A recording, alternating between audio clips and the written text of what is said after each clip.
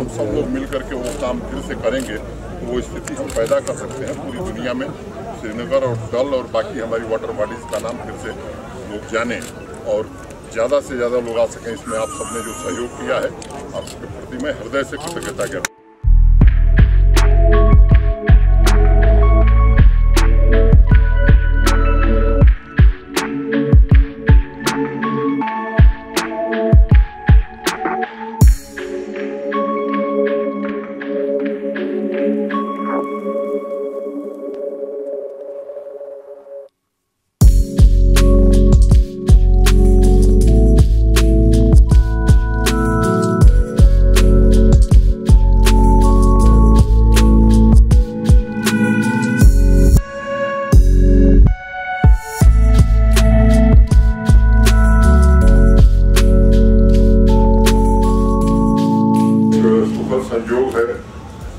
आज एक बड़े अभियान की शुरुआत श्रीनगर के नागरिकों के साथ मिलकर के हम सब कर रहे हैं।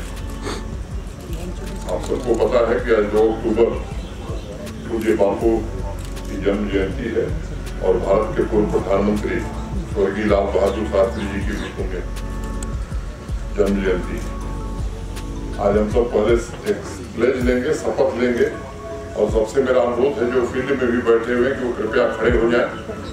और आज स्वच्छता की प्लेज हम सब लोग लें। और ये प्लेज केवल प्लेज के लिए नहीं, बल्कि निश्चित रूप से हम आने वाले दिनों में इस शपथ को पूरा करने की कोशिश करें।